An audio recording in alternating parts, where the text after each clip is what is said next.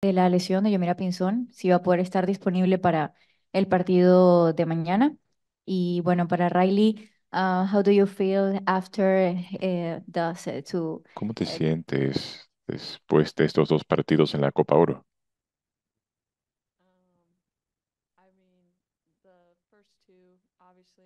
Bueno, obviamente los primeros dos han sido un poco decepcionantes, pero lo que uno extrae de eso son grandes aprendizajes. Como equipo eh, hemos podido unirnos más, aprender, tomar un partido a la vez y hemos continuado y estamos listas para el próximo. Y bueno, con respecto a Yomira, venimos justamente de la cancha, tratamos una última prueba y desgraciadamente no, no, no reaccionó bien, tuvo todavía algunas dolencias, entonces eh, se tomó la determinación de que no esté disponible para mañana, estará con el grupo obviamente como, como lo hizo el partido pasado, pero ya, ya se tomó la decisión con el médico que, que no participe. Sí, sí es una lesión en la rodilla que, bueno, son lesiones que son, son de cuidar y preferimos mejor cuidar a la jugadora y priorizar su salud en este caso. Buenas tardes, Juancho Villaverde, ESPN. Eh, Nacho, eh, Arthur habló sobre el equipo de Panamá y mencionaba que, que le genera muchas dudas cómo va a salir, ya que jugaron con cinco, con tres. Eh, si nos puedes decir más o menos qué tienes pensado pa- para mañana, sabiendo que Brasil es un equipo que alarga mucho la cancha, posiblemente repetir un cuatro tres tres, pero un poquito más defensivo, tratando de alargar las posiciones de, de los extremos. O sea, ¿Cuál sería más o menos la, la idea futbolística? Prometemos no decirle nada a Arthur. Y, y Riley, me gustaría saber sobre cómo está el grupo. Eh, sabemos que el- la parte de comunicación cuesta un poco más por la barrera del idioma, pero me gustaría saber cómo sienten ustedes el ánimo después de estos dos resultados. Eh, hablamos después del partido, te sentías muy frustrada. Quisiera saber esa, esa, esa parte, cómo están. Um, I just think, yeah, I mean, Pues luckily, sí, felizmente Nacho habla inglés y hay algunos en, algunas en el, equipo que hablan inglés y eso lo facilita un poco y así intercambiamos ideas. Pero sí, nos hemos reunido y hemos desahogado un poco la frustración, pero sabemos que hay más por delante. Y es cierto que quizás no hayamos tenido los mejores resultados hasta ahora, pero sabemos de lo que somos capaces y de lo que haremos de aquí en adelante.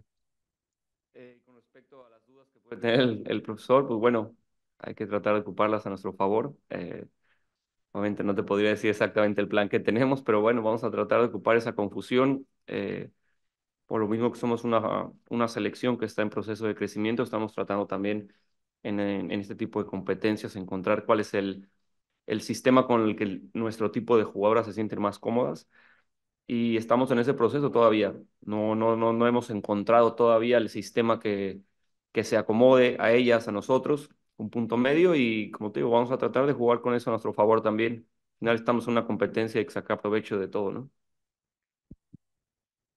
Por acá, Memphis Colina, buenas tardes. Para COS Panamá, Riley, ¿qué opinión te deja los dos resultados que ha tenido Panamá en esta Copa Oro?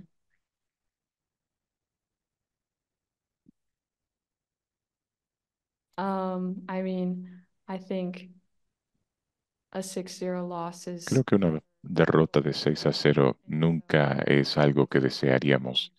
just coming off of like both of the games. I think we have more to Al final de cada partido, pues me quedo con la impresión de que tenemos más que demostrar. Tenemos un gran grupo de muchachas muy talentosas.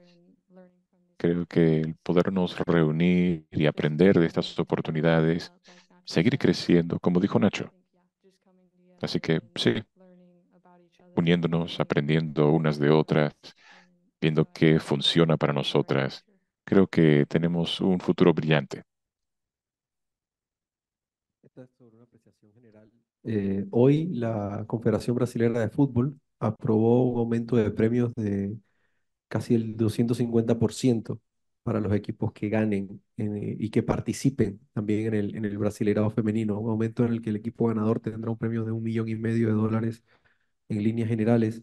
eh, su apreciación sobre esta noticia y a la vez qué tanto apoyar, qué tanto nos funcionaría en países como el nuestro este tipo de, resultados. Eh, bueno, obviamente es parte del desarrollo. Yo creo que la cuestión económica, estamos claros que tiene que aumentar. Me da mucho gusto que, que, que exista eso, porque quiere decir que esas inversiones se está viendo que también va a haber un retorno. La gente que, que invierte al final es gente de negocios, gente que sabe que, que no está regalando el dinero, sino que habrá alguna forma de regresarlo. Eh, creo que tiene que ir de la mano también con lo que es el crecimiento de, de la jugadora, en este caso, ¿no?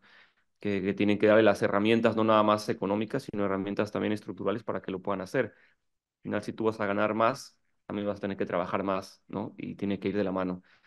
Eh, me da mucho gusto que, una, que lo puedan hacer en Brasil.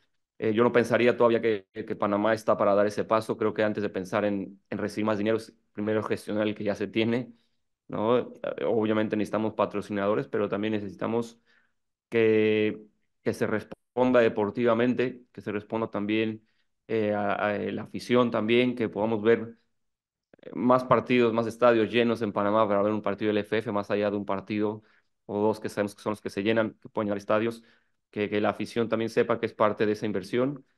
Y como les digo, creo que, creo que es parte de las dos, ¿no? El inversionista y también la futbolista que pueda estar a la, a la altura de ese dinero que se está invirtiendo, ¿no?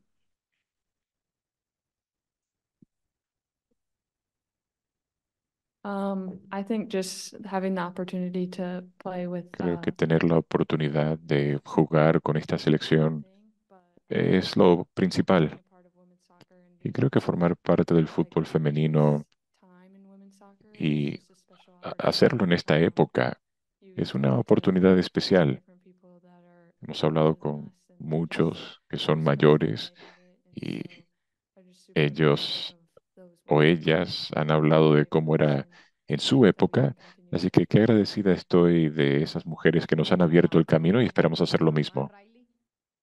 Estás en un gran equipo con el Washington, en una gran liga también, pero no estás sumando minutos de juego. Quizás eso te afecta en conseguir una condición óptima para mostrar tu talento y si has pensado en hacer algún cambio o todavía te sientes bien con este equipo del Washington. Um, I think I trust everything in Washington Spirit Creo que confío en uh, todo el espíritu de Washington, inclusive en nuestros entrenamientos, partidos, todo. uh, Confío en lo que tienen ahí para mí.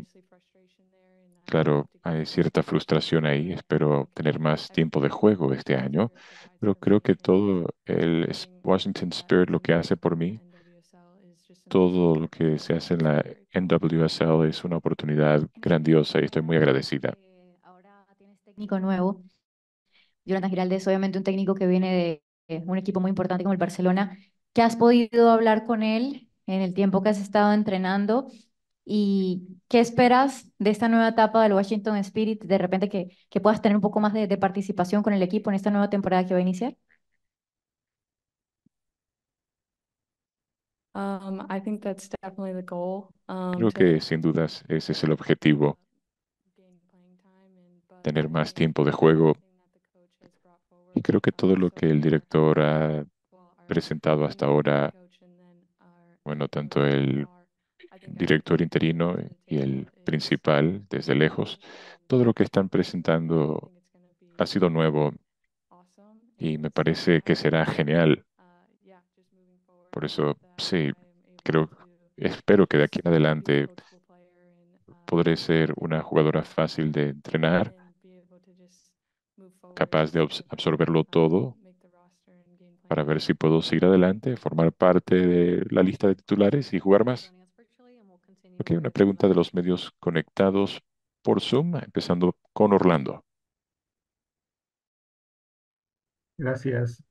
Buenas ta- tardes, noches para todos. Buenas noches, Nacho. Buenas noches, Bailey. Orlando Castellán de Servicio Informativo en Deportes. Una pregunta para cada uno, si me lo permite. Really, eh, ¿cómo jugar mañana ya eh, este partido? Más allá de que las posibilidades para llegar a la siguiente ronda, pues posiblemente no puedan estar, pero ¿cómo cerrarlo ante un equipo de, de Brasil cómo jugarles el día de mañana. Y para ti, Nacho, eh, ¿qué te ha dejado un poquito de lo que has visto en esta copa con tus jugadoras y qué tienes que mejorar por el fútbol que, que han mostrado hoy en día en esta parte y mañana que se enfrentan a una, a un equipo sudamericano que viene jugando bien al fútbol y que no ha sido contundente, pero a ustedes han sido muy goleados? ¿Cómo ocuparse en esa parte para el día de mañana no irse con otra goleada este, en este torneo? I mean, tomorrow it's just Pues mañana será otro partido más, otra oportunidad, otra oportunidad para crecer como grupo, como jugadoras. Creo que independientemente de lo que pase, claro, Brasil es una gran selección, pero nosotros tenemos mucho que demostrar. Creo que es una revancha de la Copa Mundial, así que lo haremos con todo y haremos el mayor esfuerzo y seguiremos creciendo de aquí en adelante. Sí, a ver, nosotros tenemos primero que saber, como siempre lo hemos dicho, con mucha humildad, saber cuál es nuestra posición, cuál es eh, nuestro objetivo. Eh, no, no es uno el mismo objetivo que tiene el equipo de mañana, que, que tiene una presión diferente a la nuestra. Nosotros estamos comenzando a entender esta presión que, que nos ganamos después de calificar al Mundial, que no era la misma que se tenía antes. Eh, sabemos que hay una expectativa también después de que hayamos logrado esa calificación. Estamos aprendiendo a, a entenderla, estamos aprendiendo a sobrellevarla. Eh, y todos estos partidos, desgraciadamente, bueno, son lecciones, lecciones que, el fútbol te castiga con goles. Nos han castigado, nos han castigado de, de la peor forma, con un partido donde nos meten seis, con un partido donde nos meten un gol al minuto 92. Creo que es de las peores formas que, que uno quiere perder y trabaja para que no sucedan, para que realmente sean esas lecciones, que no se quede eh, en la frase siempre de que de perder se aprende. Eh, creo yo también que tenemos que aprender a ganar y tenemos que trabajar muy, muy fuerte, no, no nada más con quererlo es suficiente, no nada más hablándolo. Hay que demostrarlo, hay que mostrar al grupo que se puede y mañana, bueno, tratar de disminuir el impacto también que, que sabemos que, va, que vamos a recibir, ¿no? No podemos tampoco engañarnos, sabemos que Brasil es superior a nosotros en muchos sentidos. Eh, con esa misma humildad también tenemos que salir mañana y demostrarlo como lo hemos demostrado contra otras potencias, como en su momento fue Canadá, como en su momento le pudimos ganar a un equipo como Venezuela con, grandes estrellas. Tenemos que regresar a esas bases, ¿no? Tenemos que regresar a las bases que nos trajeron aquí, eh, a las bases que, que nos hicieron ganarnos esa presión y esa expectativa de un país, responder y salir con una vergüenza deportiva mañana y amor propio para que también demostremos que vamos a defender esta bandera contra todos. We have any other questions? ¿Alguna otra pregunta? Otra más por aquí, profe.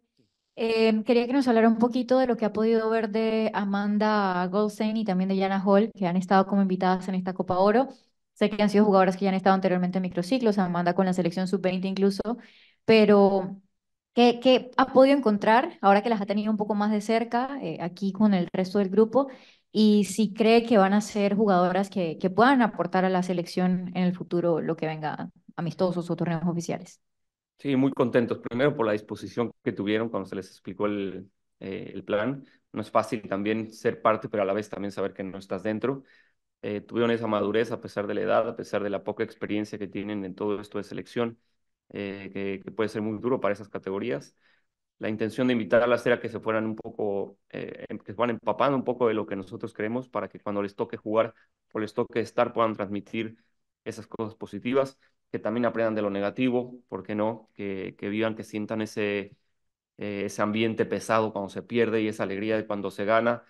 Queremos que prueben eso porque no tenemos muchas jugadoras, entonces tenemos que ir acelerando procesos, probablemente no en la cancha, pero lo estamos tratando de adelantar fuera de, en el caso de ellas, no, no desentonan ni muchísimo menos, eh, las hemos podido tener eh, involucradas como sparrings dentro del entrenamiento y son jugadoras que, que tienen un futuro enorme, no nada más en selección, sino un futuro enorme en, en, la vida profesional.